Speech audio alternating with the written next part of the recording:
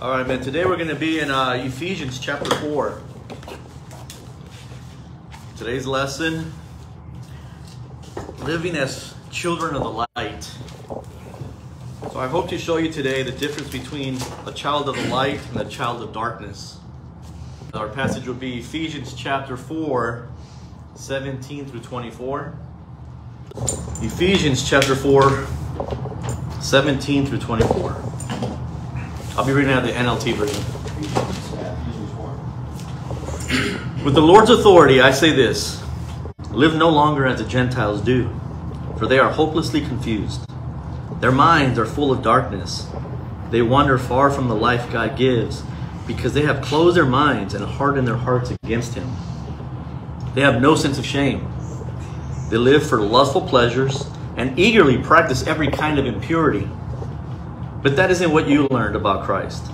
Since you have heard about Jesus and have learned the truth that comes from Him, throw off your old sinful nature and your former way of life, which is corrupted by the lust and deception. Instead, let the Spirit renew your thoughts and attitudes. Put on the new nature created to be like God, truly righteous and holy. So I'd like to break these up. Let's go back to verse 17. With the Lord's authority, I say, live no longer as the Gentiles do, for they are hopelessly confused. So those that don't know Christ are hopelessly confused. And Paul here is teaching the Ephesian church not to be like them. And so I hope to teach you that today too, not to live like the world, the Gentiles. And so how do they live? You know, give a couple of examples of how the world lives. They cuss without regard. What else? What, what does the world do? Drunkenness. They get drunk. Self-centered. They're self-centered. Living, living, living a gay lifestyle now. Homosexual lifestyle. Seems to be more accepted. Right? Pride of intellect. Pride of intellect. And so Paul here is saying, don't live that way. And the, he also tells us here that they're hopelessly confused. You know, are they confused about the Bible? What are they confused about? And today, well, think about today. They're confused about gender. You know? A young Brett came over my house on Thursday and he asked my daughter, Do you know the difference between a male and a female? And she kind of paused. No one's ever asked her the question. I guess people on television can't answer the question. This world is hopelessly confused. They don't know the difference between a male and a female. They confused. What, what else are they confused about? They're confused about the creation of the world. They're confused about marriage. Some people are growing up with two male figures, two female figures. They're confused about evolution, right? And, and the list goes on and on and on. Anyways, well, Paul here is telling us not to be that way. So if I had to give verse 17, what do I learn from verse 17? That those, the children of the light, are not confused. We are not hopelessly confused like the world is. Verse 18 from our passage. Their minds, and that's the Gentiles, that those that don't know God, their minds are full of darkness. They wander far from the life God gives them because they have closed their minds and hardened their hearts against Him. Their minds are full of darkness, it says. So who has a Matthew uh, 5.19 passage? What does Jesus say about the mind? 5.19. Correction. 15.19. yeah, Matthew 15.19. Again. And so what does Jesus say about the mind here? 15, 19. 15.19. What does Jesus say about the mind? Uh, pour out, pour out of the heart come evil thoughts, murder, adultery, sexual immorality, thief, false testament, and slander. So according to Jesus, what comes out of the heart? Evil thoughts. And he says here in Ephesians that their minds, the Gentiles, their minds are full of darkness, which tells me that their hearts are full of darkness. Right? Many people say that the devil put evil thoughts into their minds. Well, according to that passage, I don't think it's the devil, I think it's our hearts. Jesus says that our hearts are deceitful. The Bible says our hearts are, are deceitful. People say the devil put this thought in my head. A dark mind equals a dark heart. But the followers of Jesus, they have a renewed mind. A study shows that the average American spends seven and a half hours in front of a screen. That's television, iPhone, iPad, or computer. Seven and a half hours of feeding their brains with worldly product what? Daily or on a daily basis. Seven and a half hours in front of a screen.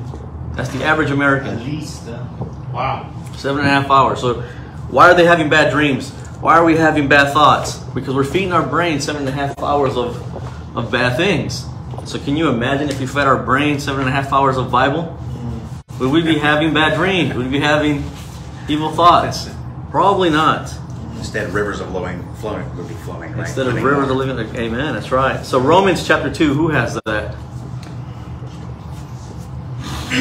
I have 12 too. Oh yeah, twelve two. There we go. Correction. 12 Romans twelve two. That's uh, need sacrifice, right? Yes.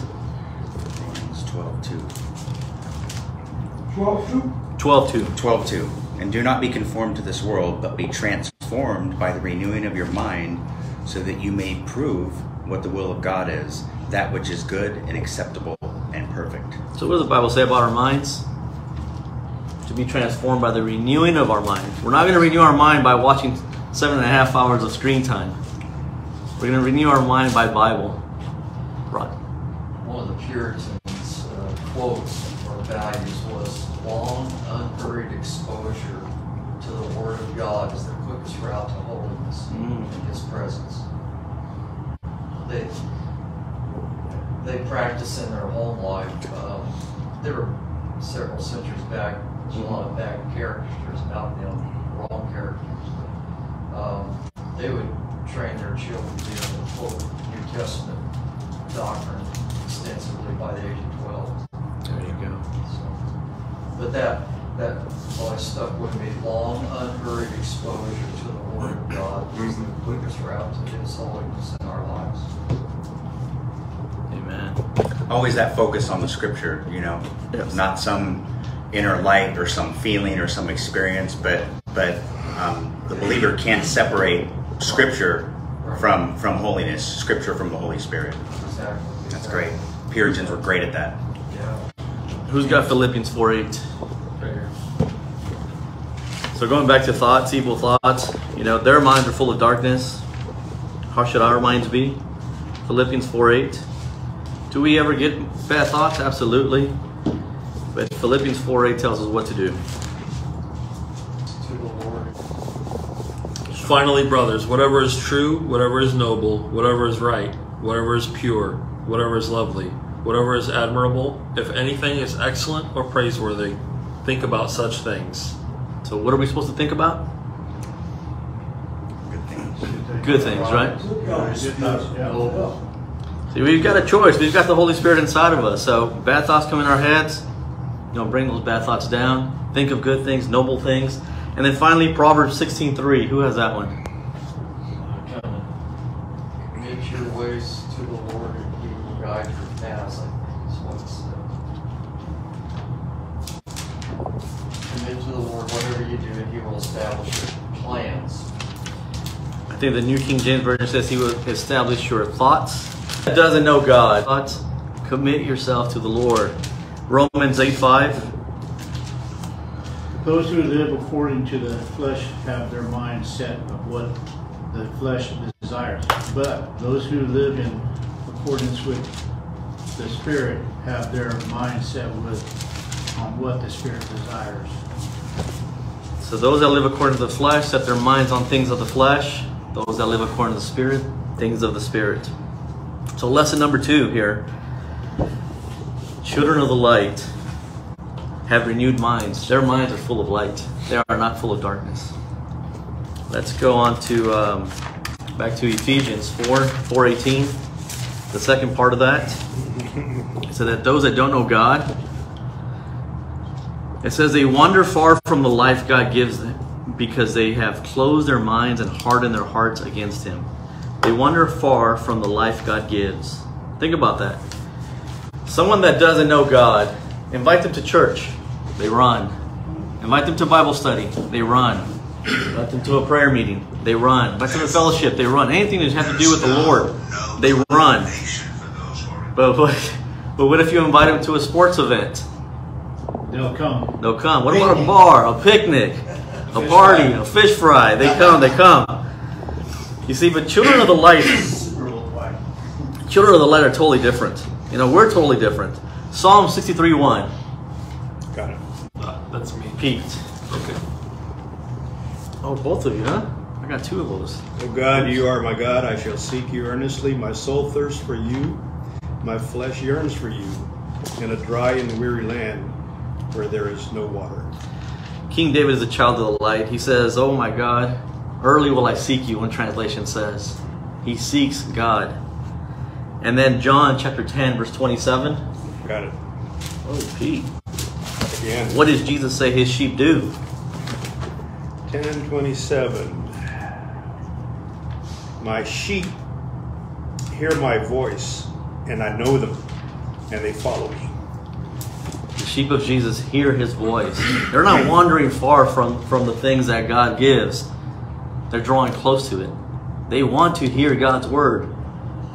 They're not I don't have to convince them to, to hear God's word.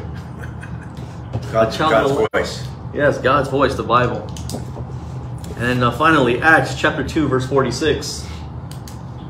Who has that one? That's what? Acts 2.46. I can do it. Okay. Acts 2.46. Yes.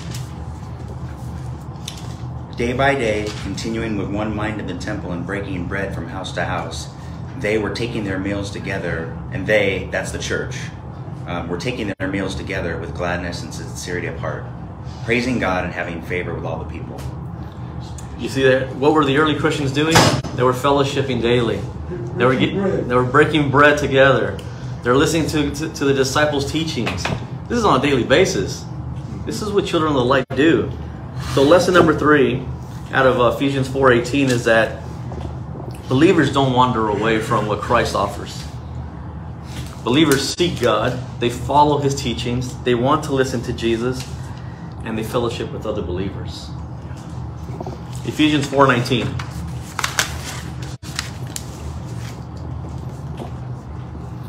They, those that don't know God, they have no sense of shame.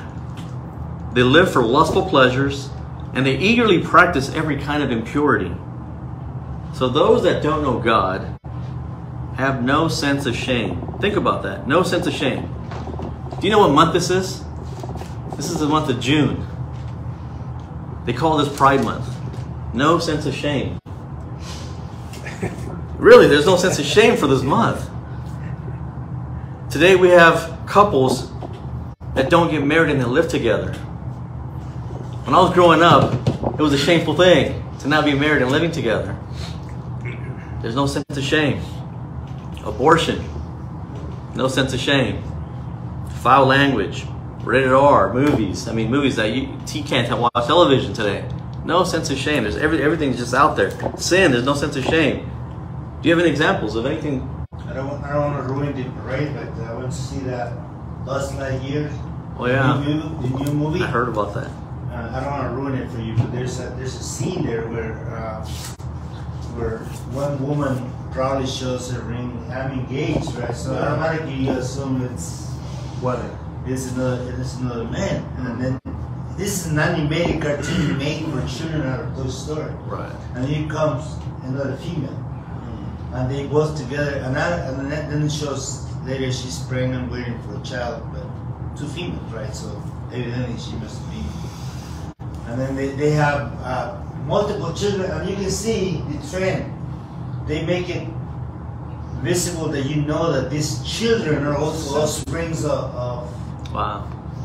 so they multiply, you know, and even the grandchild, the grandchild, I'm talking about three generations now, is emulating, you know, the lifestyle of her grandmother as being lesbian, you know, So it's like, I, you're talking about an animated cartoon, man. Come on. Right, right, right. You go in there like thinking, oh, I'm gonna ho- hold some fun, and you get slapped across the face with with this hideous uh, mentality. You know? Those that don't know God have no sense of shame. See, and that shouldn't be us. So think of Adam and Eve. What happened to them when they found out that they sinned? They made some clothes to hide their nudity. You know, King David, Psalms 51. Believers are not going to practice sin and not feel any shame. You know, King David, Psalms 51. Who has that one? Psalms 51, 1 through 4. Have mercy on me, O God, according to your unfailing love, according to your great compassion, blot out my transgressions. Wash away all my iniquity and cleanse me from my sin. For I know my transgressions and my sin is always before me. Against you, you only have I sinned and done what is evil in your sight. How does King David feel about his sin? There's some shame there. And then what about Peter? Luke 5 8. Remember Peter? Jesus was, um, I think they were fishing. And then Jesus told them to, to cast a net. And they're like, Lord, we fished all night. We're not catching anything. Nevertheless, I'll do it. Throws out his net. There's a, there's, there's a, a tremendous amount of fish. In fact, there's so much fish that the boat starts to sink. Right? And what does Peter do? Luke 5 8. Luke 5 8. But when Simon Peter saw that, and that was the miracle of, of the fish, he fell down at Jesus' feet, saying, Go away from me, Lord, for I am a sinful man. So you see, children of the light do not lose their sense of shame for sin. We don't practice sin and not feel guilty, not feel shame. Why? Because we have the Holy Spirit and we grieve the Holy Spirit. See? So that's lesson number four, is that we don't lose our sense of shame. Let's go on. Ephesians chapter 4, John verse Giles or Thomas Giles. verse Ephesians chapter 4 verse 20 and 21 but that isn't what you learned about Christ since you heard about Jesus and have learned the truth that comes from him we'll go with that. So children of the light according to verse 20 that isn't what you learned about Christ. They learn about Christ. Children of the light learn about Christ. Since you have heard about Jesus they hear about Jesus and they learn the truth. So notice here that they're learning the truth. They're learning about Jesus. I know it's popular to learn about other religions and, and do all these other studies. You know, you got some young kids that want to learn about Jehovah's Witnessism or Mormonism. Anything wrong with that? No, there isn't. But you know, you ought to be so focused on learning about Jesus and learning the truth that when falseness comes along, you'll know the difference. Jesus is the truth. So learn about Jesus as much as much as you can. Secondary is all the other the other things. But um, what are ways we can learn about Jesus? Learn about Christ. We have discipleship, we have fellowship, we have church, we have Bible studies. How else? How else can we learn more about Christ? The Bible.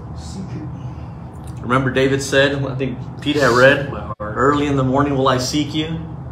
He seeks the Lord. You learn more about Christ.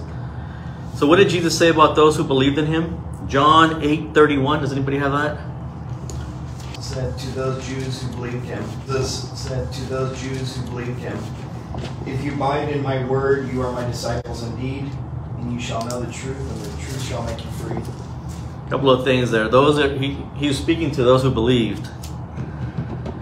And those who believe will abide in his word and they will know the truth. So a true believer of Jesus Christ wants to learn more and more about Jesus, wants to learn more and more about the truth. Don't worry about the false stuff. Learn the truth. So when false, falseness comes, you're able to protect yourself, your heart, your family from false teaching. Learn the truth. Jesus is the truth. What is what comes as read? And the truth shall set you free. What what I don't know. Uh, I know what comes to my mind, but I'm curious. What is what comes to mind when you hear that last part? The truth will set you free. What, What, does comes that to mean? mind? How are you free? Freedom from anxiety, fear, bondage, anything that's holding you from being what you're supposed to be. Slaves to sin. Slaves to sin. Or this guy, or that thing, or this thing? Yeah, it's subjective. So, But don't you think, as an unbeliever or unbelievers, it always seems to me that there's always in a, always trapped in this ball of confusion. I think you mentioned confusion earlier. Yes. Trapped in a ball of confusion, right? At, at some point, all the intellectuals at one point, they don't know if they should believe that guy or this guy or that thing or this thing or themselves or not believe themselves, always questioning themselves, right? There's a ball of confusion. And I think in that passage, the end, the end to all that is knowing the truth. Once you know the truth, that confusion ends and stops. Amen. Because Now you know the truth. Now you know the truth. No need to be confused anymore. That's the thought that always hits me when I read that or I hear that. All right, let's. Couple, can I throw a couple things? Yeah, of course. Jesus said in John 16, 13, but when he, the Spirit of truth, and that's the Holy Spirit, comes, he will guide you into all truth. So, um, someone has the Holy Spirit inside them, they're going to be led to the truth. Some people are going to do it maybe a little faster than others because they're going to just going to jump right into the Word of God. But if you're a believer and you have the Holy Spirit in you, um, you're going to be led back to Scripture always. Even if you, you fall into sin for a time, you, you're always going to be led back to Scripture. You were talking about human philosophy, this philosopher, that philosopher. In Jeremiah 17 9, um, it says, The heart is more deceitful than all else and is desperately sick. Who can understand it? That's why we can't trust human philosophy because it's because on my own, of course, I'm always going to be right. Of course, God always agrees with me, but So lesson five here, a child of the light wants to learn more and more about Jesus, the truth. Let's go on to um, Ephesians 4:22. Now that you learn the truth and now that you have the light, what do we do? Verse 22. Throw off your old sinful nature and your former way of life, which is corrupted by lust and deception. Throw off or put off your old sinful nature your former way of life. So I ask, what was your former way of life? Whatever it was, put it away. Throw it off. If you were a liar, put it away. If you were an adulterer, put it away. If you had outbursts of wrath, put it away. If you were impatient, put it away. Why? Because we have the Holy Spirit. Remember, he talked about the Holy Spirit. We know the truth now. Put it away. How? By the power of Christ, by the power of the Holy Spirit. 2 Corinthians 5:17. Therefore, if anyone is in Christ, he is a new creature. The old things passed away. Behold, new things have come. If any man be in Christ, he is a new creature, new creation. It doesn't say he will become a new creation. It doesn't say you will work at being a new creation. If any man be in Christ, you are a new creation. Throw off your former way of life now that you know the truth. Through the power of Christ, through the power of the Holy Spirit. So, children of the light are new creations and they put off their old sinful nature. Ephesians 4 23 and 24. Instead, let the Spirit renew your thoughts and your attitudes. Put on your new nature, created to be like God, truly righteous and holy. So let the Spirit do what? Renew your thoughts and your attitudes. See, we were once dead to our sin, right? Now we're going to be alive. You our spirit and our life. 63. Only the Holy Spirit can renew our thoughts and our attitudes. John 6:63. It is the spirit who gives life. The flesh profits nothing. The words that I speak to you are spirit and they are life. So it's the Spirit who gives a life. You know, you want your mind renewed and you want your attitudes renewed. The Holy Spirit does that. The Spirit gives life and life more abundantly. See, Bonte cannot renew your mind. I cannot renew your attitudes. Jesse cannot renew my thoughts and my attitudes. He can't renew your thoughts and your attitudes. Your pastor can't do that. Books cannot do that. Schools cannot do that. Only the Spirit of God can do that. The Holy Spirit can take a man like the Apostle Paul. He was set to go persecute Christian people. he was a racist for, against Christians. And in his mind, in his heart, he's doing the right thing. And he has an encounter with Jesus Christ. Jesus changes his mind and his attitude, and all of a sudden, he's loving these Christians. And in fact, he dies for these Christians. Who can do that? Did books do that? Did schools do that to him? The Holy Spirit did that to him, right? And only Holy Spirit can change a man. The Holy Spirit alone. And so, how can we receive the Holy Spirit? Luke 11. Who has a Luke 11, um, 11 to 13? I do. For a fish, we'll give him a snake instead. Or if he asks for an egg, we'll give you a scorpion. If you then, though you are evil, know how to give good gifts to your children, how much more will your Father in heaven give the Holy Spirit to those who ask him? So, how can we receive the Holy Spirit? Ask. By asking God for it. Ask your father. Ask your Father for the Holy Spirit, yes. So, this last lesson here is that children of the light, they allow the Holy Spirit to renew their thoughts and their attitudes. They put on a new nature to be righteous and holy like God. You know, this is a work of the Holy Spirit. So, my encouragement today is to ask for the Holy Spirit. You know, this is this is how much more will our Father give us the Holy Spirit to those who ask? Right? Seek and you shall find. So to recap, lesson number one was that children of the light do not live like the world and they're not confused. Number two, children of the light do not have a mind full of darkness, they have a mind full of light. Three, children of the light seek God and they don't wander away from the things of God. Children, number four, children of the light do not continue sinning and feel no shame. Number five, children of the light want to learn more and more about Jesus, the truth. Number six, children of the light are new creation. They throw off their former way of living. And finally, number seven, children of the light allow the Holy Spirit to renew their thoughts and their attitudes and they put on a new nature. Open up for discussion.